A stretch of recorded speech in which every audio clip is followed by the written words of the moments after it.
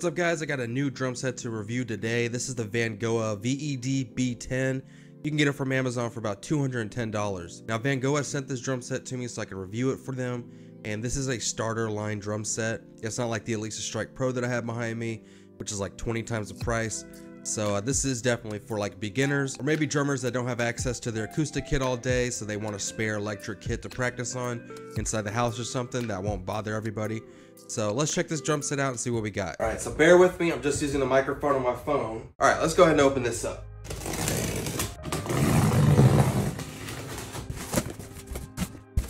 Everything's nicely packed in here. Got our accessories. In here we got the, uh, you know, the AC adapter, we got our cables for each individual piece.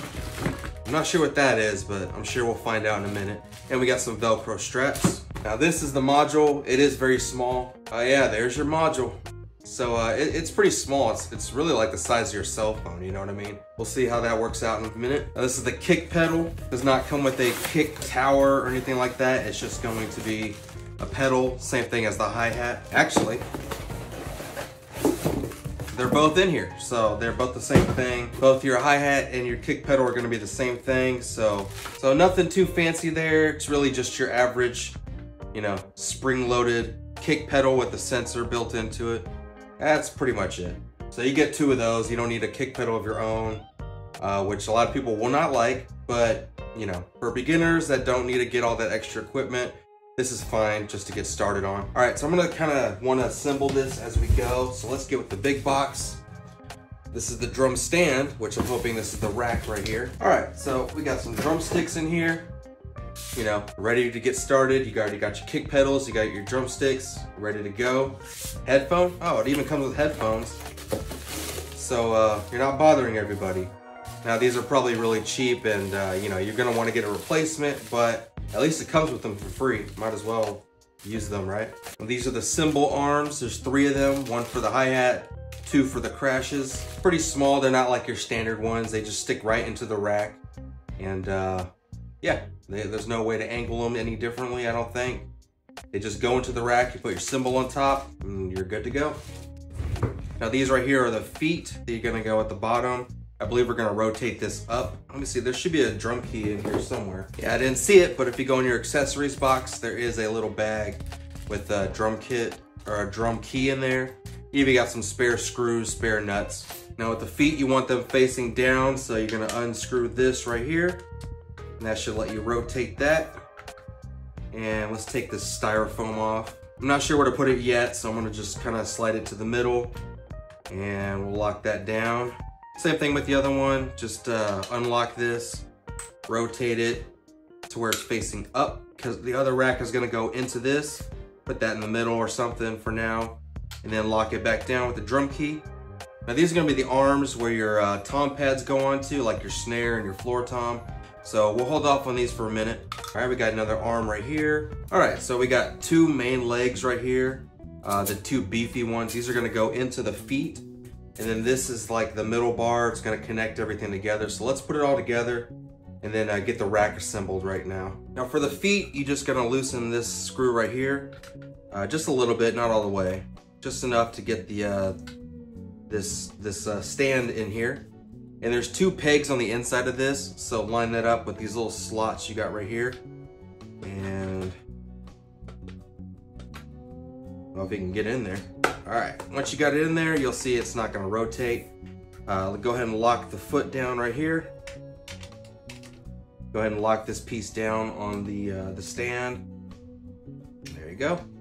Now we need the other one, so let's connect that one together. All right, fairly simple, right? So the one that has two joints on it, that's gonna go on your right side. The one that has three joints on it, that's gonna go on your left side. Go ahead and rotate this top one over to face the other side. Now you're gonna grab this one. This is gonna go in the middle of these two. So let me unlock this and slide all this stuff down. All right, now we're just gonna put this into this slot right here. Same thing, you're gonna loosen it up with the drum key. Just loosen that up. Then we're gonna insert this. Again, it's got those two little pegs, so you uh, line up these slots with it. That just prevents it from rotating. I guess we'll open this up a little more. Push it in there, and once it locks into those pegs, then you can lock this down. And you don't have to worry about that rotating on you or anything like that. Same thing with the other side. Let's lock that down. And I'm gonna set up the feet to where they're even and they're straight. All right, now that we got the feet parallel, I locked them down so they're nice and tight down there. They shouldn't rotate on us. Uh, now we got all these other pieces. So let's go ahead and move these accordingly. Now these are for the cymbals right here. So we'll just slide this down all the way to the end. And this one's already pretty much there. I guess we'll put the, we'll put the, the, the slots for the cymbal arms on the outside and we'll lock this down. Again, put that all the way at the end, lock this down. Now we have two slots for the toms and we have a slot for our module. The one that's straight should be for the module. These two are gonna be for the toms. We'll just uh, move these around for a minute. Uh, we're not gonna lock those down because we're gonna move those in a second.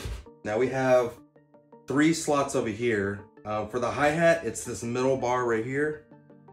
And for the snare, it's this bottom one. So this arm that has uh, another cymbal holder, we're gonna move that into where the hi-hat's supposed to be. So let me unlock that. Let's rotate it. And we'll just have this sticking out to the left for now. Again, uh, unlock this and just put everything into the where the slots go into. All right, we got that in the slot, lock that down. We'll leave that alone for a minute. Now we'll grab, these other two arms are the same. The uh, one goes in this bottom slot and one goes over here. So let's go ahead and add those in. All right, so that's pretty much it for the rack. It's fairly easy to assemble. And then when you uh, wanna pack this thing up, you can rotate the uh, toms whichever way you need to. You can fold it all into one spot. That way you can easily store this thing. But let's go ahead and add all the rest of the drum pieces on and get this fully assembled. Now we're gonna open our first drum pad. Oh, it looks like we actually got two of them in here. Yes, we do. All right. All right, so these are your drum pads. They're just kind of like a, uh, a standard practice pad where they're silicone. So they're very quiet. That's gonna be great for people that don't want to uh, have too much noise with the product. So that's gonna be good. Um, they're seven inches, which is pretty funny that they're odd numbers instead of uh, even numbers. Like normally you get a six inch or eight inch or 10 inch, but these are seven inches. So that's pretty that's pretty uh, unique. And again, we got another set of drum pads. Again, they're all the same thing. They're all seven inch pads, so all four of them are the same. You can mix and match them. It doesn't really matter because they're all they're all the same. Let's go ahead and just throw these on the rack real quick so we can get them out of the way. Very easy. Again, you're just gonna unlock these little slots right here. And you got four of them, one, two, three, four. Just go ahead and insert the uh, toms into each one of those. All right, I got all four pads on here. I'm gonna move this down a little bit to make it feel kind of even with the snare drum over here and like a real floor tom. One thing I forgot to do is lock down these corners. That's why the feet are moving down there. All right, next step, we're gonna put the cymbal arms on. All you gotta do is uh, unlock your little slot right here. I will say the drum key is kind of hitting the arm or the rack itself. That's a little annoying, but it's all right. We can go ahead and uh, loosen it up just a little bit. You can put these as high or as low as you want them and uh, lock it down after that. Same thing with these other two. I just noticed this, but one of them is straight and the other two are uh, angled a little bit. So the angled ones are gonna be your crash cymbals, which are gonna go right here. Your, uh, your straight one's gonna be the hi-hat. That goes on the arm by itself. Go ahead and try to get these two as even as possible. And then lock it down. All right, so we got our cymbal arms in there. Uh, let's go ahead and get the cymbals out and put these on the arms drum stool surface. So I actually didn't know that this came with a, uh, a drum throne, but it does. So now you got everything you need to play. You got your headphones, you got a seat, you got sticks, you got pedals. Um, everything that's needed to play is right here. Now, if you're a bigger guy like, my, like myself, then uh, you probably don't want to be using this drum throne. It is rather small. I'm gonna stick to my Tama first chair over there, but just so you know, this drum throne does come with it. All you gotta do is take the part, the top part out of the box. Then you open up the drum stool bracket. This is easy to put together. All you gotta do is open these legs up like that. Uh, lock this down so that the legs stay open.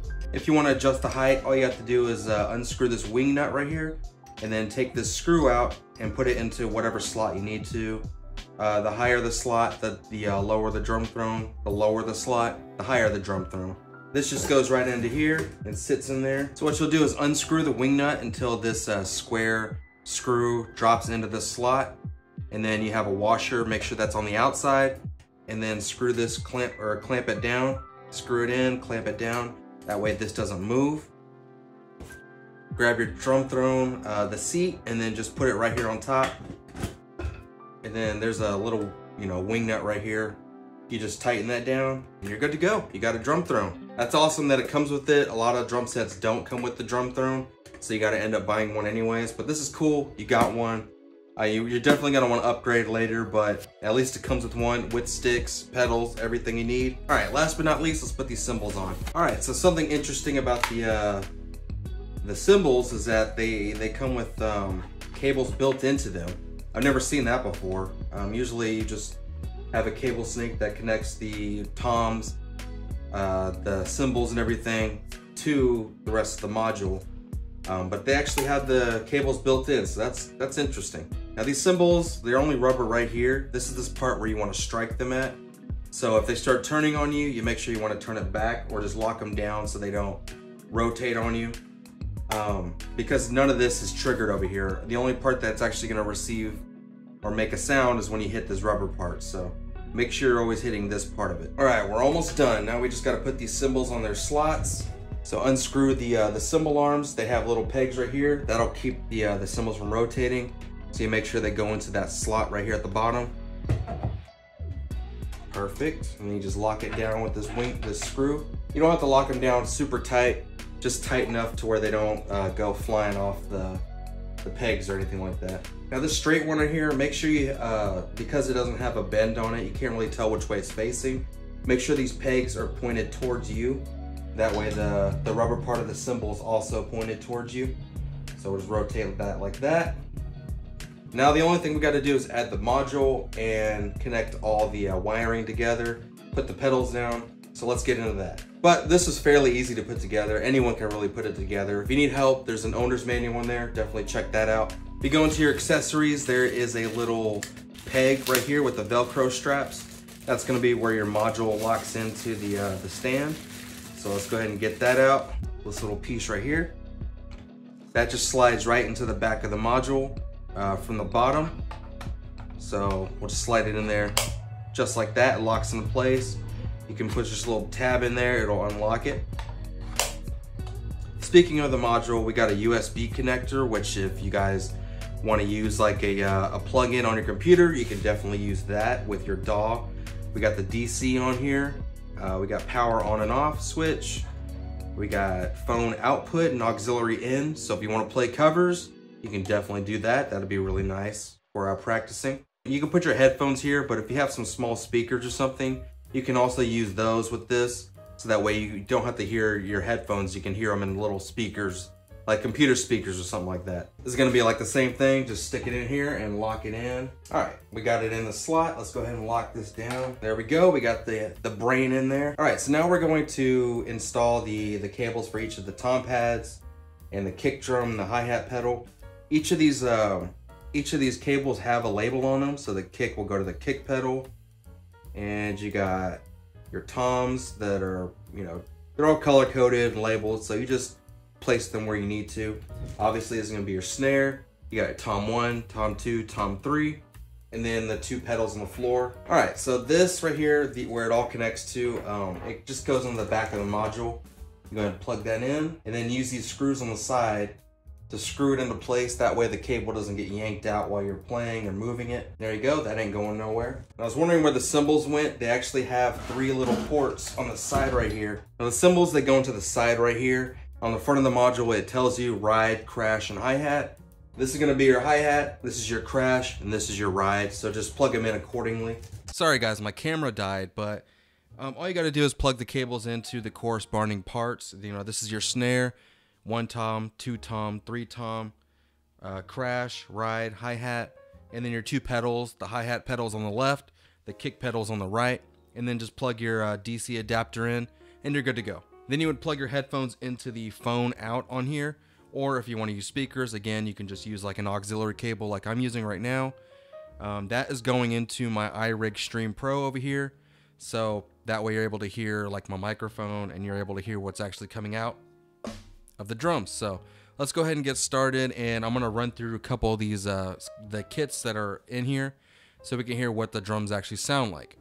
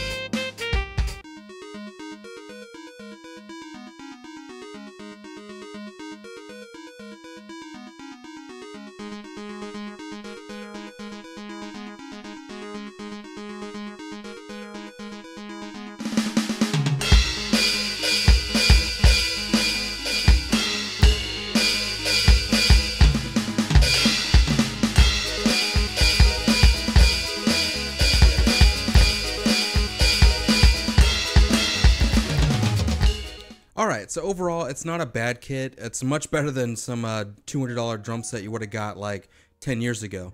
I don't even think they had electronic drum sets that cheap back then. But the pads feel really responsive, they feel really nice. It's just like playing on a practice, you know, snare pad. The sounds are what you would expect out of a $200 module. As a matter of fact, the module pretty much just has uh, 15 different sets. It has a metronome and it has a couple practice songs to it, which I thought that second song was really, that, that shit was bumping, man. I, I was like actually listen, listening to it and jamming to it. I'm like, all right, man. but um, yeah, I don't really care for the songs that come on modules anyways. But overall, I thought it was a nice practice kit, especially if you're a beginner. I think it's got um, everything you need with it. You know, the throne, the sticks, the pedals. It's got the headphones with it. And the headphones aren't that great. I tried them out, but I was like, you know what? Let me just use my in-ear monitors because I got them. But overall, from, you know, comparing them to things I've played in the past, these are much better build quality. The sound is a little bit better than what I'm used to hearing. So overall, it's not really that bad. You know, $200, this is what you get for it. I think it's a really good practice kit if you're like, you know, you got low storage and you just need something to uh, smack around to do some like rudiment practices on or something like that. I think it'll work just fine. You can also put up your own kick tower into it. So if I wanted to, I could use the uh, the kick drum of my Alesis Strike Pro onto it if I really wanted to. But why would I do that when I have an Alesis Strike Pro? But anyways, um, you can change it out so you're not just using the pedal on the floor. You can actually use your own pedal with a, a different kick tower if you want to. Overall, not bad. I'm just really impressed that drum sets have uh, have changed so much over the years to where even a $200 drum set is quality like this and better than I expected. So kudos to you guys over at Van Vangoa and thank you so much for letting me uh, you know, review this kit. I think it's a pretty good deal for 200 bucks. So if you're interested in the kit and you want to look at it, go check out the link in the description below. I think it was unavailable at the time I'm making this video, but it'll be back up in stock pretty soon from what they've told me. Yeah, pretty decent practice kit. Go check it out if you're interested in that thing. If you need something small um, to practice in inside the house when you can't practice your acoustic kit. So thank you guys for watching. I'll see you guys in the next video.